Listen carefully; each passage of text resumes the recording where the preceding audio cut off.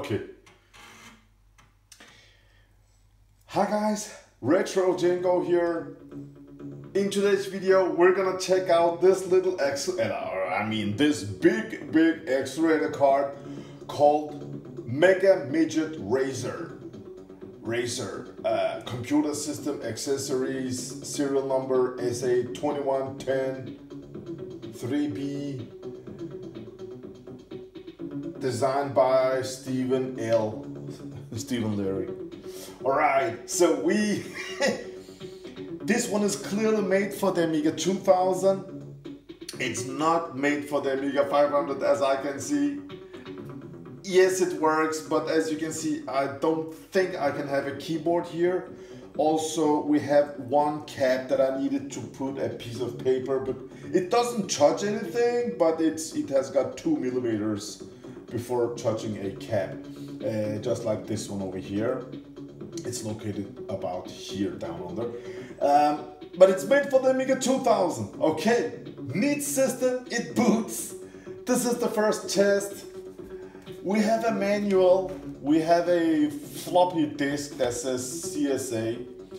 The Amiga, uh, the manual here also says CSA computer system. Nice midget racer manual. Installation in the Amiga 500 and in the Amiga 2000. CSA Mega Memory 32-bit DRAM daughter board. Darn it. uh, warranty 32-bit expansion bus coprocessor the 882 speed up to 50 megahertz the FPU says 882 40 megahertz oh man this is cool the Mega Midget Racer can crush 1 million floating point operations flops in 2.7 seconds. Yes, 90 day warranty, repair. 68030. Uh, yeah, this is the first time in my life I'm reading a manual. Very nice. Very nice. Replace the old 030 old 68,000 processor with the old 030 512 kilobytes of SRAM. Those four empty sockets can have half megabyte of fast RAM. This board, an 030 board with no fast RAM, this, this board has only two megabytes of chip RAM. And having a, an, an accelerator Oh, it's on, I can feel it. Having an 030 board with no fast RAM is like, you gain nothing. Absolutely nothing. So it needs to have some RAM, guys. But it's all cool because I got this with an Amiga 2000 that had 8 megabytes of fast RAM uh, installed. So in another video, I will uh, put this in my Amiga 2000 with 8 megabytes of RAM and we're gonna push it to the limit. Right now in this video part 1 I just want to test if it works but we have a screen, we have some jumpers, verifying 512 kilobyte jumper, eSync jumper. It says something like remove, look at this. It says Remove eSync jumper after installing your 68000. Where is the eSync jumper now? Oh, it's here and it's removed. That's nice. 512 OSC. wow, I like it. I like it, man. I really, really do. Um, so I posted this on uh, Commodore Amiga page and one guy, I don't want to mention his name, he said that it was absolutely worthless, but uh, I don't know. Not for me, we're all different. I don't want to mention no names, but for me, every old hardware for the Amiga that works, it's just, it's priceless. It's so cool. I have no usage for it, but I want to document it and have it on YouTube. That's my purpose with all these Amiga videos. I want to have as much Amiga hardware on YouTube as possible.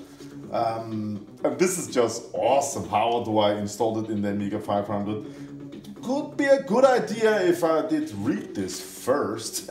but I'm the kind of guy that never reads manuals. I just do it, plug and play, install it, no one cares. Put it in, put it in, let me begin. Oh yes, instructions, so many warnings. 32-bit DRAM, oh my sweet mother of candy flush. How fast the RAMs are. 256KX4 DRAM, 1MX4 DRAM. So you can have two different RAM models. This is the daughter board. Oh, nice. I'm looking for some pictures also. Fast RAM card. 32-bit memory, nice. This is the 030 guys, so it's not a 16-bit. This is Amiga 500 is a 32-bit system now.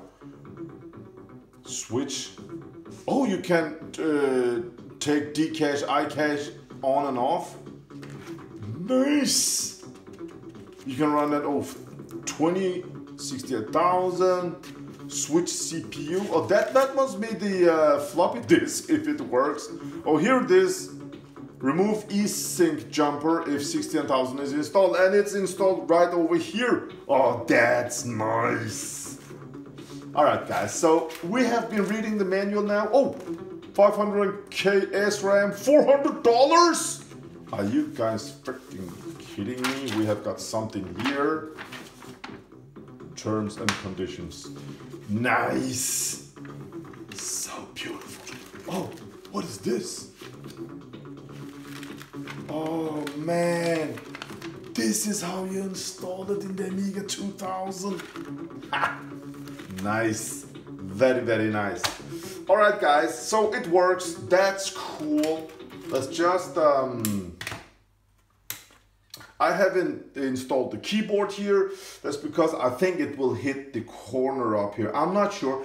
That's why I have no uh, Terrible Fire videos for my Amiga 500 and I have nothing against Terrible Fire products. I have uh, filmed on my CD32 and my Amiga 1200, but on the Amiga 500, you need to have a uh, adapter and my OCD triggers. If I need to put a converter adapter first on the 68000 socket and then have another board hanging up here, that just stuff like that destroys everything for me. Why don't you just design the Terrible Fire card so it just fits and the PCBs up here or something without all the adaptation stuff. So that's why. Um, here, I think the keyboard will hit. I'm not sure, guys. For you guys, I will make a little test here and see what's gonna happen down there.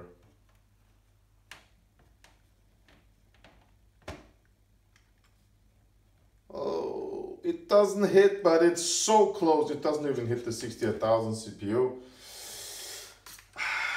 You can use it in the Amiga 500, but um, I would put some sort of tape here, electrical tape here or something, or down under the keyboard. But yeah, it is what it is.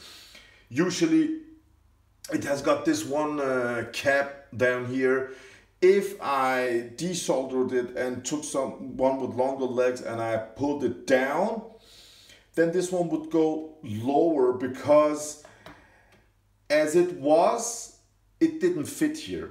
But down here you can't probably you can probably not see it, but here I have got another uh, 68,000 socket. So I put that in, so this card came up a bit higher up, and now it fits and it boots with it. I don't know if it just boots with the 68,000 or if it boots as an 030. Let's go, let's go. Oh, we have a picture, guys. We have a picture. Uh, yes!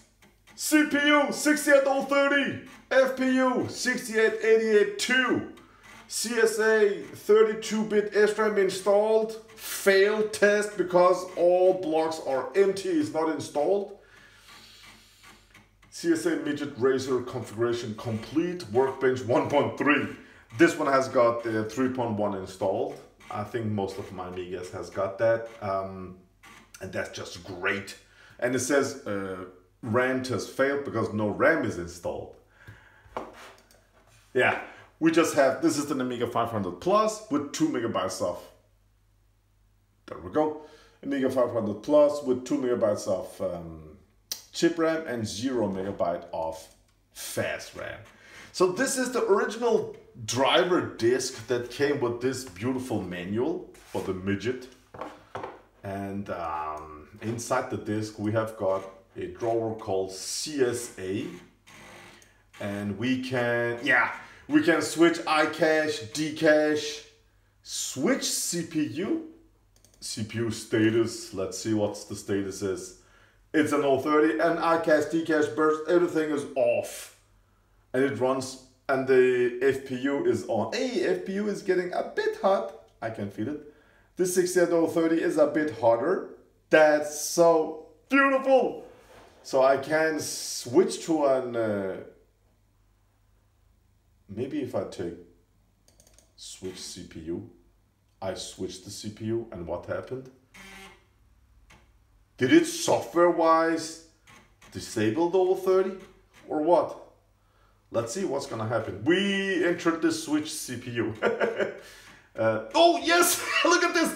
It turned off the FPU and it runs as an old 68000 system now. How cool is this, man? Wow, it works. Can you see the card? Down there. Oh man, it's so cool. All right, all right, all right. It works. The floppy disk works. It's just, let's document this beauty also. It's great, great stuff. So guys, this is just going to be part one. Thank you for watching part one. I hope you enjoyed this. I think it's awesome. Now we have documented one more Amiga product. I think it's so cool. That's just 60,000 lips. Kickstart 2.9 or newer. Yes, set patch executed. Noise. Um, so wait for maybe a part two when I install this in Amiga 2000 with 8 megabytes of fast RAM and we're just gonna enjoy this beauty. Is it a keeper? No. If you wanna buy it, if you have something cool you want to trade with me so I can have that, and document it on um, on YouTube, I would be happy to do so. Uh, so just contact me if you're interested in this beauty, guys. It's it's uh, oh 68030 882 MMU uh, 030 in use. I want to say have a great day out there and enjoy your Amigas. Just like me, guys, I'm enjoying these beauties. Oh man. And Budbrain, if you put in disk one, it just boots and you will see the demo. But if you start with boot, uh, Budbrain disk, was it disk, disk two? Was it? Yeah. Look at this. I inserted disk two and I will get the loading music. And when I was a kid, I was just a huge fan of this beat. So yeah. Thank you for watching, guys. This was the, let's get some lights here. Aziz light. Oh, yes. Look at this beauty. Hey, look at the battery area. On my motherboard, this one doesn't have a battery area. Very, very cool stuff. I'll see you on the next video, guys. Retro Cengo out.